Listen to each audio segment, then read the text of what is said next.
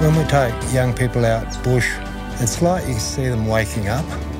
To see a young person go from in pain, suffering, bleeding, to becoming themselves is one of the most heartfelt moments in my life and it makes me tearful.